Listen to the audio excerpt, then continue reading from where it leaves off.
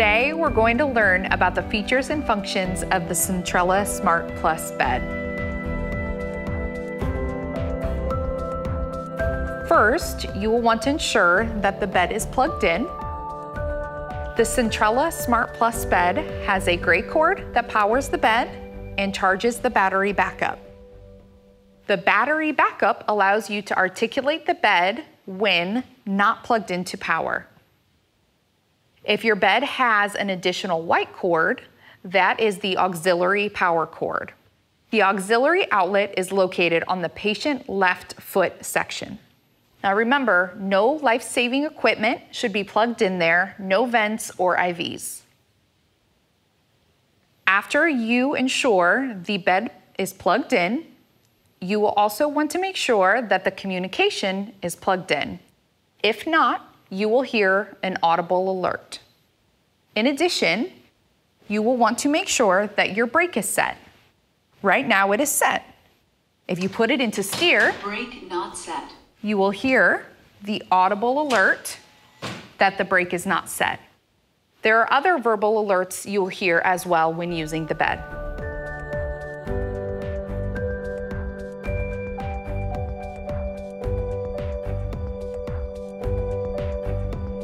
Let's take a look at the touchscreen. You will notice the question mark here at your top left-hand corner. This will allow you to look at a variety of features and functions on the bed. For example, if you'd like to know where the restraints are located, you can select restraints and it will show you a picture of where they are located. The bed accommodates patients from 70 pounds to 500 pounds. I will now demonstrate how to zero the bed and weigh your patient. If you go down from your home button, you will see a picture of the scale. Once you select the scale, you will then select zero. If you have a new patient in the bed, you will want to select new patient. It will walk you through what you will want to make sure you have on the bed. For example, you will want to make sure the linens and any additional equipment are on the bed. Then you will select Continue. It will prompt you to let go of the bed. Once that is completed, it will say, your bed is ready for a new patient. We have put some weight in the bed to simulate a patient. So now let's weigh the patient. I will now go back to my weight symbol. I will select weigh and okay. It will prompt you to let go of the bed to make sure it gets an accurate reading. When it does so, you will hear a single beep. You now see the patient's weight. I will push save. Now let's address patient risk areas. Based on your facility protocol, if the patient is a falls risk, you will want to set your bed exit alarm. The button right below your home button is where your bed exit alerts will be. There are three different modes of bed exit. It goes from highest sensitivity to lowest sensitivity. The first one is changes positions. If a patient changes positions in the bed, the bed exit will alarm. The second is move towards edge.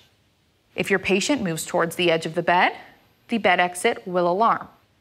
And the last is has left the bed. If your patient has gotten out of the bed for your non-falls risk patients, it will then alert you. Now I'm going to demonstrate to you how to set and silence a bed exit alarm. I am going to set changes position. When your patient changes positions in the bed, your bed exit alarm will go off. You will then, as a caregiver, come into the room and silence the bed exit alarm by pushing the silence button. My patient is in the bed and I am going to set the bed exit. I'm going to set moves towards edge. Please don't get up. The care team. I have silenced bed exit alarm. I am going to put my patient back in the bed. Now you will see bed exit has automatically reset. If I am not in the room and my patient attempts to get out of the bed unassisted, the alarm will trigger. I will then come into the room and silence the alarm and put my patient back in the bed. And once I've placed my patient back in the bed, my bed exit will automatically turn back on. If I know that I'm going to get my patient out of the bed to take him to the restroom or to take him for a walk down the hall, I will come in and preemptively silence the bed exit alarm. In this scenario, I can then take my patient out of the bed and take them wherever I need to take them. And I will then put my patient back in the bed. And the alarm will automatically reset. There is no need to ever turn off the bed exit alarm. The bed exit is then waiting for your patient to get back into the bed.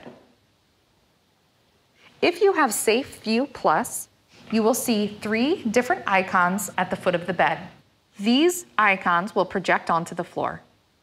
The first one is showing us that your side rail is up to protocol. If it is up to protocol, it will illuminate green. Your second one is showing whether or not your bed exit is set. If bed exit is set, it will illuminate green. And your third is whether or not your bed is in the lowest position. If it is, it will also illuminate green. If your side rail is out of protocol, it will flash amber. If your bed exit is off, the icon will illuminate blue. And if your bed is not in the lowest position, it will flash amber. Right here, you will see a hip indicator. This is where you want your patient's hips to be aligned to in the bed. This will help minimize patient migration down towards the foot of the bed. Another function this bed has is Flex-A-Foot. If you go to the home screen, you will see the foot extension. This will allow you to extend the foot of the bed an additional 12 inches, from 76 inches to 88 inches. This allows you to extend the foot for taller patients and retract the foot for shorter patients. Let's take a look at your head of bed angle alarm. As part of your hospital's vent or tube feeding protocols, setting the alarm doesn't restrict patients' ability to move their head up. However, it will restrict anyone from moving below 30 degrees. This function is unavailable. On your home screen, you also have the chair position feature. Chair position may assist when positioning patient for dining, watching television, or conversing with family.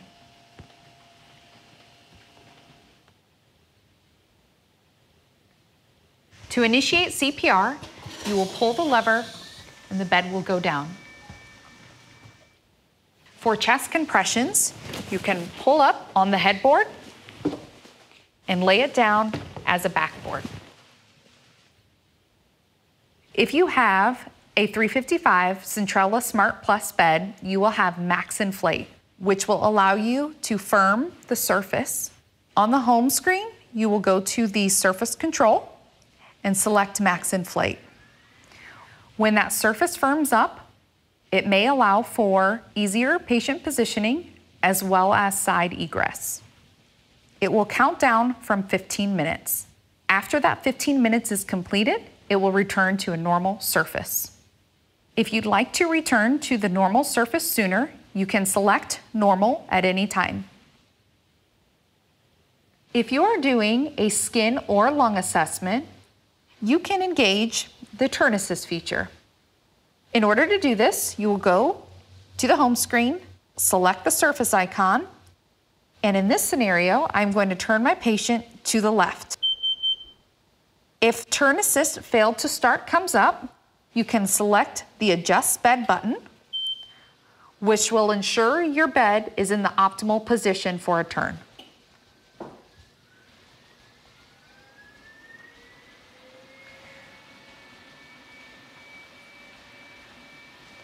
You can stop the turn assist at any time if your patient has reached the optimal turn angle. The turn assist will stay for 15 minutes. After that 15 minutes, it will go back down to normal. If you have a patient experience pod, you can place in your iPad or electronic device here.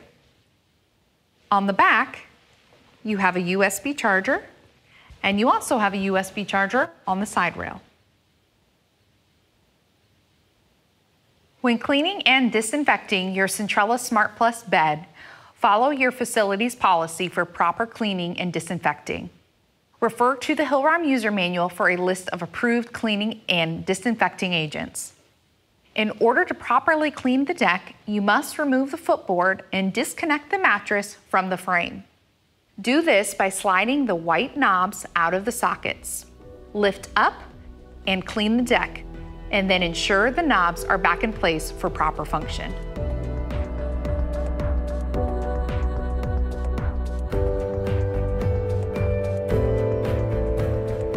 Thank you for your time. If you have any questions, please contact your local Hillrom representative. We encourage you to complete the Centrella Smart Plus Bed e-learning module on hillrom.com.